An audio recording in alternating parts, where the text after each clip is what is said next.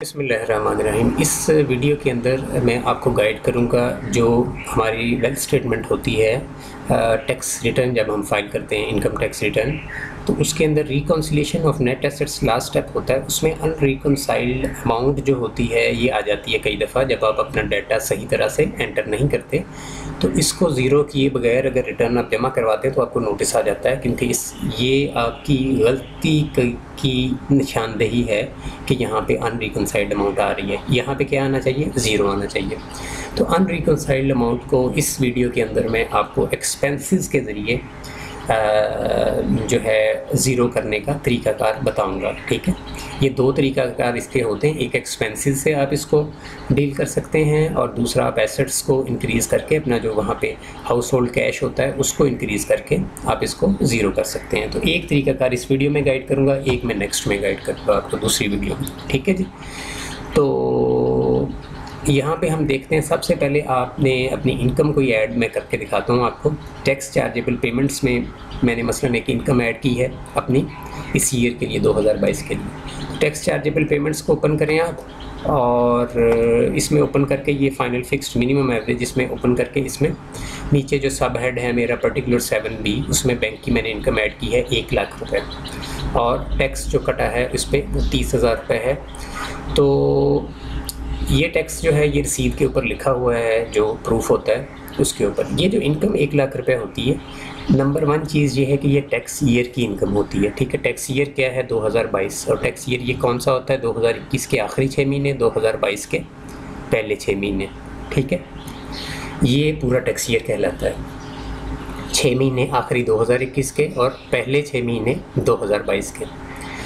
तो ये जो इनकम होती है, ये टैक्स कटने से पहले की होती है, इसको आपने बाद वाली इनकम नहीं लिखनी। इसकी वजह ये होती है कि ये जो टैक्स यहाँ पे गवर्नमेंट ने काटा है, इसको हमने एक्सपेंसेस में शो करना है। ठीक है?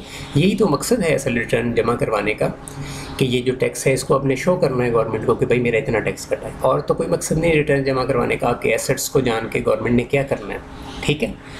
तो इस वजह से ये जो इनकम होती है, इसको टैक्स की लैंग्वेज में कहते हैं ग्रॉस इनकम ठीक है? तो ये ग्रॉस इनकम टैक्स कटने से पहले वाली, ठीक है? ये याद रखना है आपने, ये यहाँ पे मिस्टेक नहीं करनी। टैक्स कटने से पहले वाली इनकम हमेशा ऐड करनी। ठीक है जी? अब चलते हैं एक्सपेंसेस की जानब। तो यहाँ से नीचे वेल्थ स्टेटमेंट में मैं ओपन करता हूँ एक्सपेंसेस को। पर्सनल एक्सपेंसेस और ये मेन हेड पर्सनल एक्सपेंसेस का सब हेड इसके अंदर ये सारे के सारे हैं, ठीक है, दस बारह जो नीचे दिए हुए तो इसमें देखें मैंने टैक्सेस में तीस हज़ार रुपये ऐड कर दिया है तो ये मेन हेड में भी शो होगा और सब हेड में भी शो होगा। ये हर जगह इसी तरह, यहाँ पे जो अब आप इनकम टैक्स रिटर्न जमा करवाते हैं तो दो दो दफ़ा अमाउंट शो होंगी, इससे अपने कन्फ्यूज़ नहीं होना। ये मेन हेड होता है, जो बोल्ड में लिखा हुआ है। ठीक है, ये seven zero eight nine bold में है और ये बोल्ड में नहीं है, ये सब हेड्स होते हैं। जब सब हेड में एंटर करके कैलकुलेट का बटन प्रेस करेंगे तो मेन हेड में भी अमाउंट शो होगी।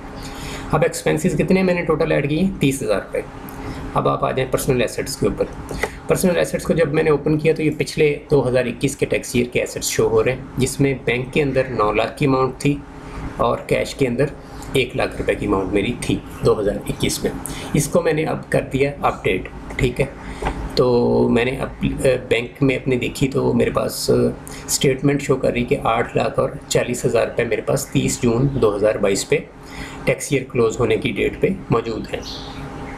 तो वहाँ से मैंने देख के आठ लाख चालीस हज़ार यहाँ ऐड कर दिए और कैश में एक लाख मैंने रहने दिया। क्योंकि कैश का मैं श्योर नहीं कि मेरे पास कितना है अभी।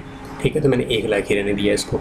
अब आठ लाख और चालीस हज़ार यहाँ पे और यहाँ पे एक लाख तो ये बन गया नौ लाख चालीस हज़ार। अब जब मैं रिकॉन्सिलेशन ऑफ़ नेट एसेट्स पे जाता हूँ, उससे पहले कैलकुलेट का बटन प्रेस करूँगा, और फिर रिकॉन्सिलेशन ऑफ़ नेट एसेट्स को खोलूँगा।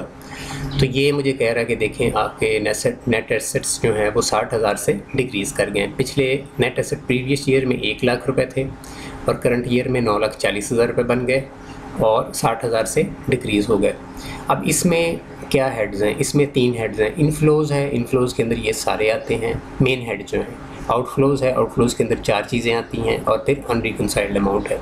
ये चार है, तीन हेड इसमें मेन है, ठीक है? ऊपर वालों के बाद। ठीक है जी, अब इसमें इनफ्लोज़ में देखें, एक लाख रुपए इनकम है। दो दफ़ा शो हुआ है, लेकिन ये एक दफ़ा अकाउंट होगा।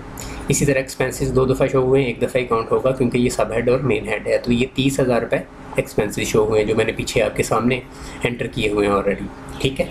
अब अनरिकनसाइल्ड अमाउंट आ रही है एक लाख और तीस हज़ार रुपये की। इसको अब एडजस्ट कर किस तरह से करना है, ये बहुत आसान है। आपने अपने एक्सपेंसेस में जाना है और ये अपने एक्सपेंसेस ओपन किए और एक्सपेंसेस में ऐड कर दिया एक लाख तीस हज़ार रुपये पर्सनल या हाउस होल्ड एक्सपेंसिस में ठीक है? हाउस होल्ड एक्सपेंसिस क्या होते हैं? जो आपके खाने पे या छोटी मोटी अशिया की ख़रीदारी पे या कपड़ों वगैरह पे सर्फ आप करते हैं, ठीक है? तो इसको आपने ट्रैवलिंग वगैरह में नहीं पूरी अमाउंट डाल देनी। ट्रैवलिंग में अगर आप एयर ट्रैवलिंग करते हैं तो वही अमाउंट आपने डालनी जिसकी टिकट वगैरह आपके पास मौजूद हो प्रूफ मौजूद हो आपके पास फिर, ठीक है? इलेक्ट्रिसिटी में एक्चुअल बिल्स की अमाउंट ही डालें।